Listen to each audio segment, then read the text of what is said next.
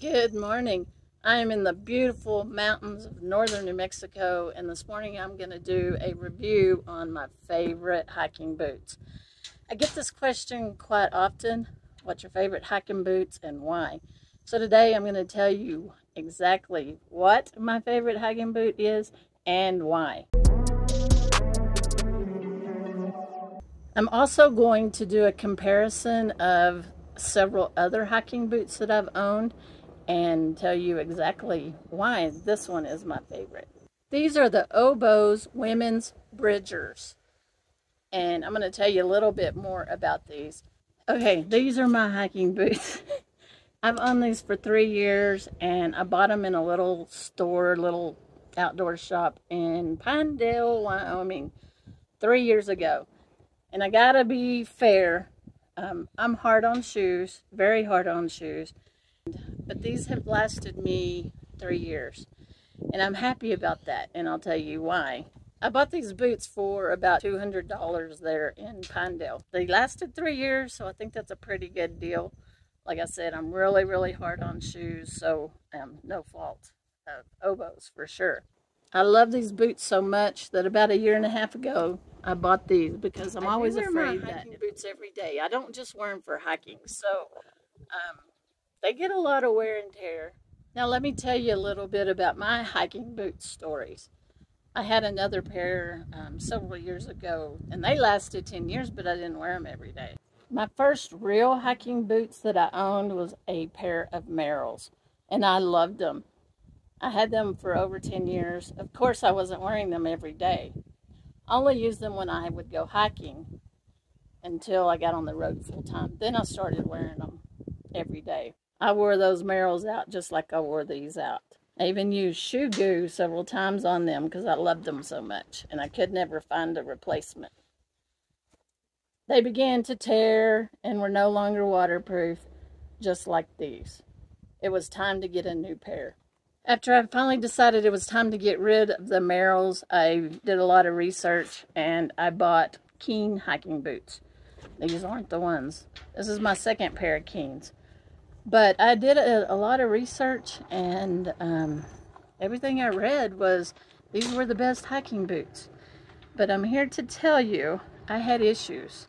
I bought the original Keens in a little shop in New Mexico and paid about $150 for them.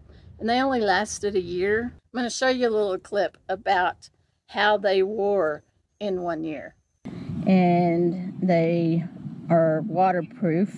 I don't remember the number. But I had a problem. These are less less than a year old. and I'm hard on shoes, but you know, these are supposed to be really good hiking boots. But what I want to tell you about these, I mean, I didn't wear them out or anything on the bottom. I mean, they're still had some life in them, but they were they tore up pretty bad. This one worse than the left foot. You know, that wasn't bad. And I did put a little shoe goo. I did have some on here, but it wasn't, it wasn't working. As you can see in the video, they didn't last very long. Um, they started to tear and they weren't waterproof anymore. The only good thing about Keen they do have a one year warranty and I was able to get a free pair, which are these.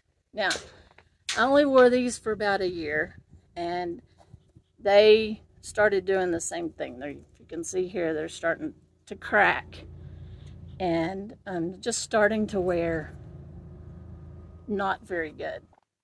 So clearly these are not the boots for me.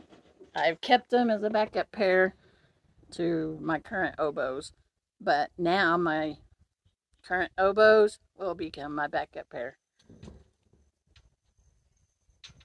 And these will be put on my feet today. and I will retire these. So now let's talk about how these boots actually have performed for me. Let's start with comfortability. From the minute I put these boots on, I did not need a break-in period. Um, I put them on and they were fine. They were comfortable from, from the get-go. I do um, for some reason have an issue with shoes and the heels back here wear out. Um, if you can see, these in three years have just now started to wear out. So that's usually the first part to go on any shoe that I wear is this back part. And then it starts rubbing and it will cause blister, blisters on me. Um, but these are just now starting to show wear in that area. So comfortability, thumbs up all the way, obviously because I've worn them so much. So they call these a dry boot and right here on the emblem it says dry waterproof B.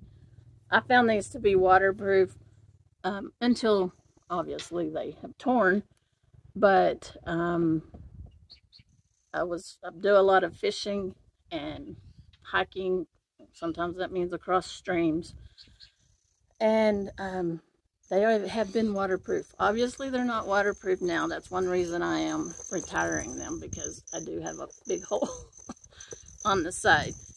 But uh, never had an issue with them until they started to tear, which has been in the last um, about three months or so.